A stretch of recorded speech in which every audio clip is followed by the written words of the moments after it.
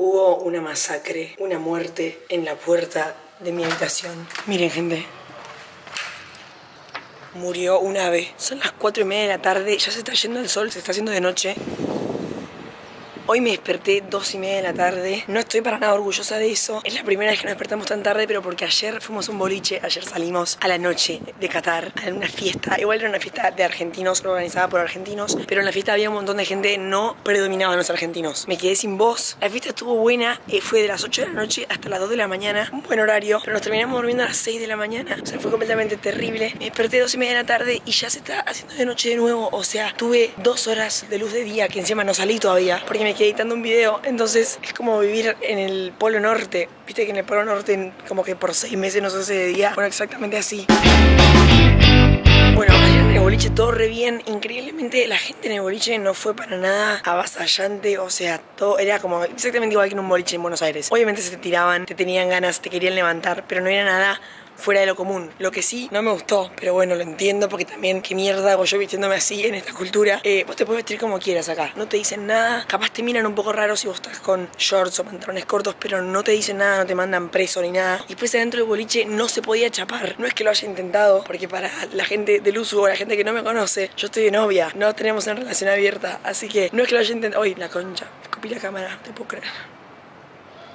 Eso es que está acá mi garzo. Bueno, va a tener que bancarse el garzo en el, en el clip por este clip más porque no puedo pasarle la remera al lente porque se eh, le haría mal a mi lente. Así que van a tener que bancarse esto con mi garzo acá, ¿ok? Todo bien, buenísimo. Pero no se puede chapar dentro del boliche, ¿pueden creer? No voy a dar información sobre cómo lo descubrí, simplemente lo descubrí. Era una regla, o sea, no había nadie chapando, lo cual es muy raro de estar en un boliche no ver a nadie chapando.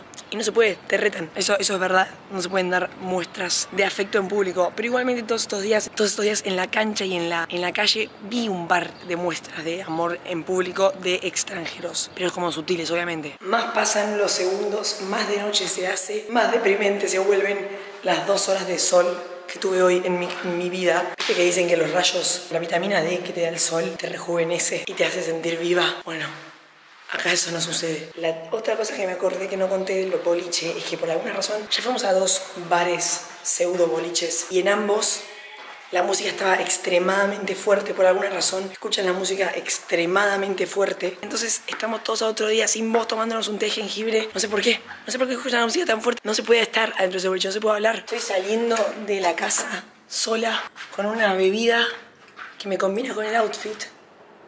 ¿Qué opinan? Increíble, ¿no? Ya lo sé. Esta puerta cierra como el orto, siempre que volvemos la puerta está abierta. Y increíblemente la casa nunca está desvalijada, así que eso es una muy buena señal, aparentemente, ¿no? Estoy un poco mejor de la voz, pero no tanto. Y aparte me caga que hace tanto calor que dormimos siempre con el aire prendido a niveles exuberantes. Y así estoy. Hi. Good evening. Yo me voy a poner a hablar. Eh, no, no, I'm talking to a camera. Do you understand Spanish? No. Ah, where are you from? I'm from Bangladesh. Ah, bueno, no se ve una mierda en este lugar, en este Uber, porque... Porque de noche, arre que estoy acla- aclarando. Estamos yendo a Souk Wakif, que es la parte comercial. ¿Me, me debería alumbrar con una luz? ¿Le gusta más así? Estoy yendo a Souk Wakif, que es la parte comercial de Qatar, donde hay un mercadito.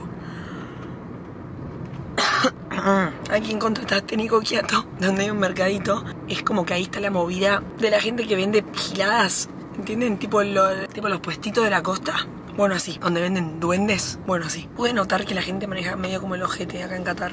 Como que paran el auto donde quieren, te arrollan si es necesario. Si sos un peatón y querés pasar, no se te ocurra. O sea, ni pases, ni cruces la calle, volá. Fíjate cómo haces. Vieron que en Europa, en Estados Unidos, en esos países, como que el peatón está muy respetado. Bueno, en Argentina y en Qatar no. Así que me siento un poco como en casa en ese sentido. Pues los Ubers llegan a la velocidad de la luz. Vos pedís un Uber y al minuto lo tenés en la puerta, lo tenés sentado tomando mate en el living. Llegan muy rápido. El servicio de Uber es muy, muy veloz. Todos los Uber son de otros países. Como la mayoría de la gente de Qatar, mucha gente vino a laburar. No sé cómo será después del mundial, pero en la época del mundial es así. Y ahora estoy yendo a este Souk Wakif, porque ahí están, ahí tienen el estudio de los chicos. Ahora terminan de, de estudiar. Arre.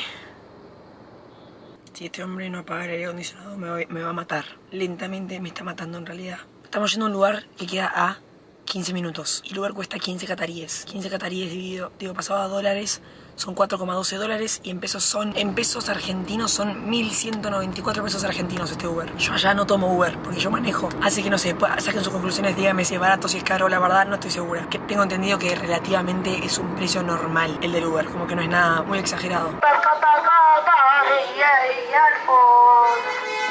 Ahí bajé del Uber, estaba ese nene haciendo un cántico para recibirme. Estoy medio tarde porque el Uber me dejó medio donde se le cantó el culo. Pero acá en Soku, aquí ya me ubico, gente. Puedo decir que ya me ubico en Qatar. Pueden creer eso.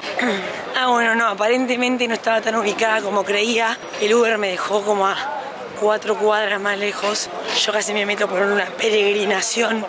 Porque este lugar a la noche se estalla. Es la Bristol, amigo. Está completamente lleno de gente, repleto. Entonces me mandé por otro lado para evitar ese quilombo. Y estoy caminando a los pedos para llegar bien. Hi, can I go into here? Only here. Only there. Okay. Hay muchos lugares encima que no te dejan entrar. Entonces necesito ir ahí y me dicen, no, esta es la salida, solo puedes entrar por la entrada principal. Y en la entrada principal para entrar tenés que hacer una peregrinación. Caminás lento entre todo el olor a chivo que hay y es completamente imposible. Así que nada, estoy acá, echada la suerte. Está todo vallado y en cada entrada y salida hay policías con los cuales no te querés meter. Por ende, o respetas o respetás. Ay, la puta madre, no sé dónde estoy igual. Logré entrar. Miren lo que es este quilombo.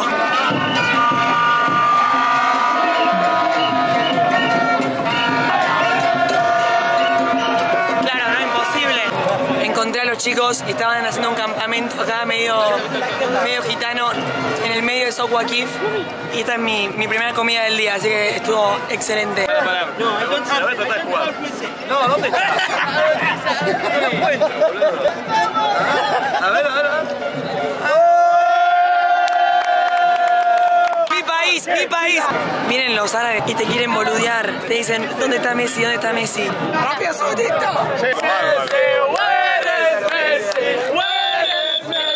Nos están boludeando por cada segundo que pasa.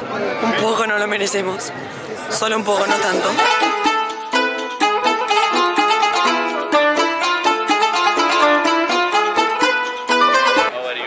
Where are you from? I'm from Qatar. Where are you from? Argentina. Okay, you are welcome here. This is your country. En esta parte del mercado, toda esta parte, venden animales. Venden pájaros, tortugas, venden conejos y gallinas. Sí o sí, la parte más fea de, todos, de, de todo el mercado. Estamos en un mercado donde venden un montón de mascotas. Ahí hay conejos, todo tipo de aves, loritos. Así. Bueno, me apuntó. Tipo así. Un pájaro vale 41 dólares, o sea, och- 11.800 pesos argentinos. Se lo compró. Se lo llevó en la mano, así como si fuera un helado. Es la parte más fea y más triste de todo este lugar.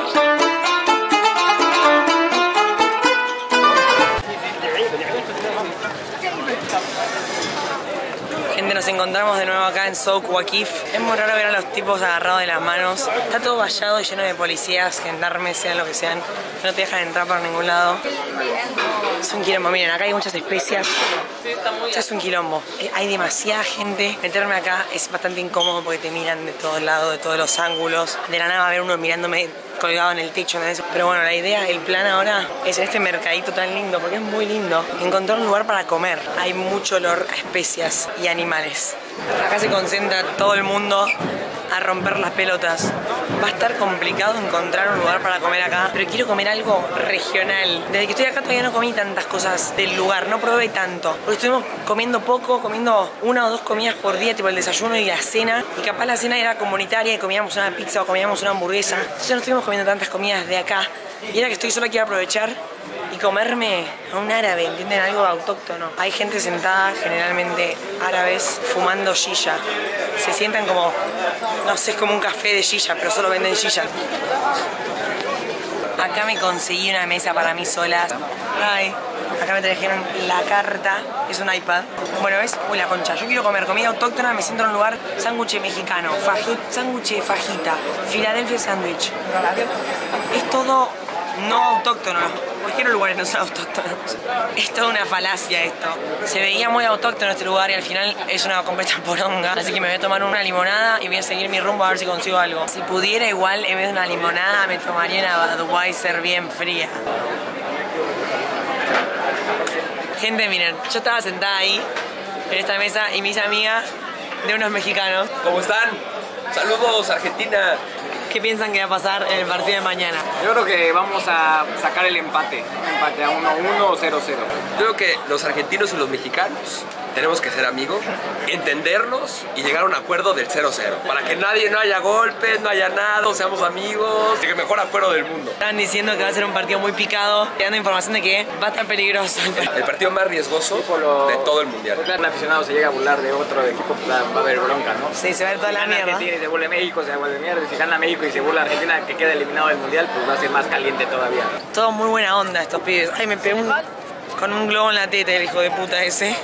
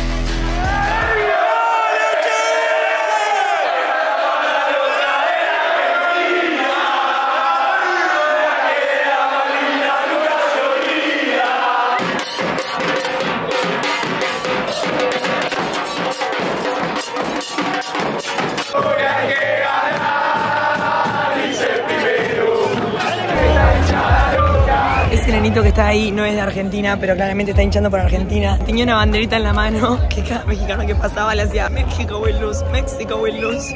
Les tiraba un conjuro.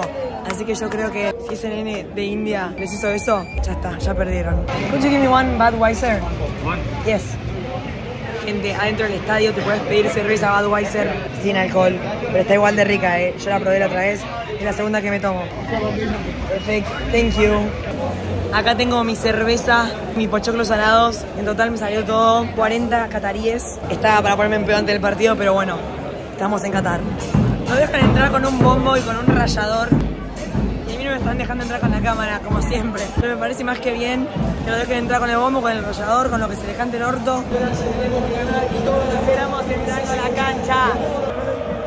Se siente mucho más la hinchada argentina hoy. Acabo de entrar, hay otra vibra. Hay otra vibra en el ambiente, ¿eh?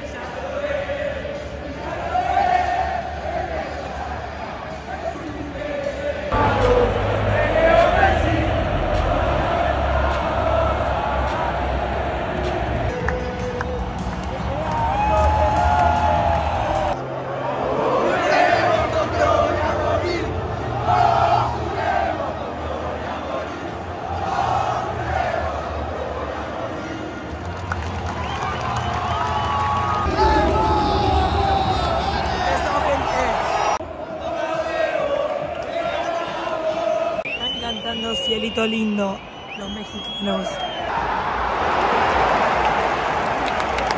45 minutos.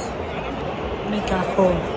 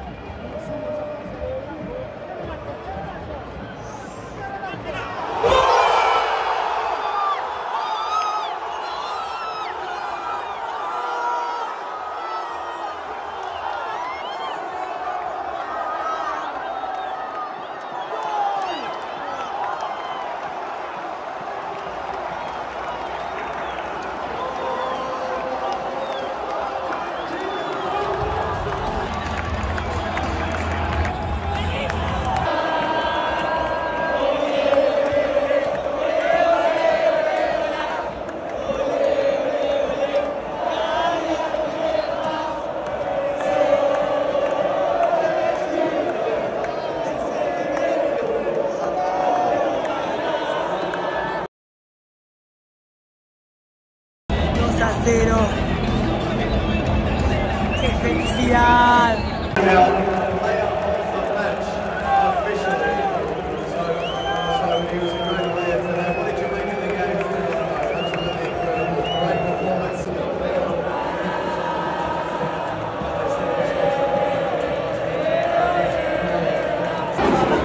Gente, no se puede creer la felicidad que tengo, que tiene todo el mundo en este estadio. En el primer gol no lo llegué a grabar y aparte me caí, me caí contra la silla, me caí para adelante por la tribuna y no me podían levantar, me tuvieron que levantar entre dos. Pegué la pera contra la silla de adelante. Cuando estaba cayendo pensé que me moría, literalmente por un milisegundo me vi cayendo por la tribuna y dije, la concha de la lora, ¿qué pasa si me muero acá? Aguanta Argentina, la reconcha de la lora. Hola, soy Martí Benza. Acababa de terminar el partido de la selección argentina y ganamos. Con un gol de Leo Messi y uno de esos de Enzo Fernández. Por ahí no me ves tan rubia como soy, me ves tan preciosa y tan joven, pero te aseguro que soy Martí Benza. Estábamos abrazadas en el primer gol, nosotras dos, y no sé qué carajo pasó. La secuencia fue así, ustedes dos por ahí, yo por acá. Abrazo a Nacho, me doy vuelta y las dos así tiradas en la butaca de adelante. ¿Cómo pasó? Yo, o sea, por un segundo pensé que me iba a morir. Y aparte no gritaban, estaban solamente así. No podía moverme. Estaba inmovilizada. Pisé el agujero del piso y terminé adelante. Tengo en los asientos de adelante desplomada. Me pusieron un gorrito los chicos de Oman. Vamos los pibes de Oman. Los pibardos de Oman. I take it. Thank you. Ok. Me regalaron un gorrito, chicos. Él me regaló.